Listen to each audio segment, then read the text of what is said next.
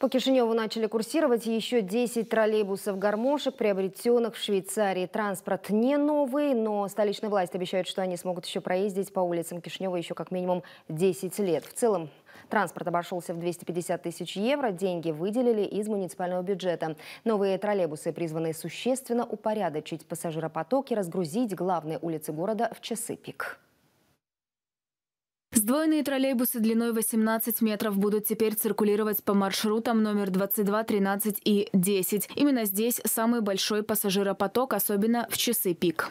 Trolebuzele puse în circulație astăzi pe străzile din Chișinău nu sunt noi. Acestea au fost produse în anul 2006 și au fost folosite pentru a transporta pasagerii în orașele elvețiene. Vehiculele au o capacitate de până la 180 de locuri, sunt dotate cu aparat de aer condiționat, platformă joasă și rampă de acces pentru persoanele cu dizabilități. Costul unei unități este de 25.000 de euro. Местные власти заявляют, что в 2020 году троллейбусы прошли модернизацию, а специалисты управления электротранспорта надеются, что эти троллейбусы будут циркулировать по Кишиневу еще как минимум 10 лет. Они бывали в пользовании, но они в идеальном состоянии, оснащены всем необходимым для современных троллейбусов. На металле нет коррозии, они в прекрасном состоянии, все исправно работает. Поэтому надеемся, что с ними все будет хорошо. Также они оснащены дизельным двигателем, что позволяет в случае необходимости объехать пробку, продолжать ехать при обрыве контактной сети, объезжать дорожно-транспортные происшествия. Они могут передвигаться автономно.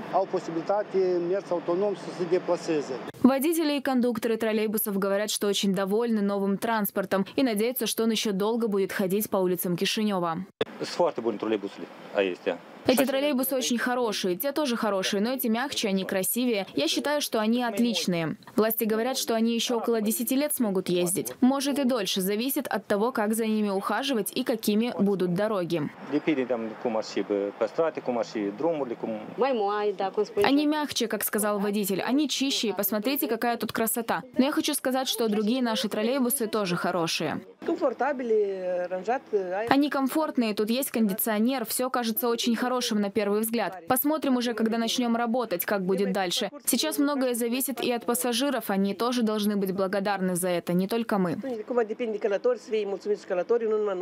По данным РТЭК, всего по Кишиневу ездит 434 троллейбуса. У 64 из них уже истек срок эксплуатации, они сильно изношены и подлежат утилизации. Из всех троллейбусов только 128 оснащены кондиционерами. Ежедневно в Кишиневе совершается около 600 тысяч поездок на общественном транспорте.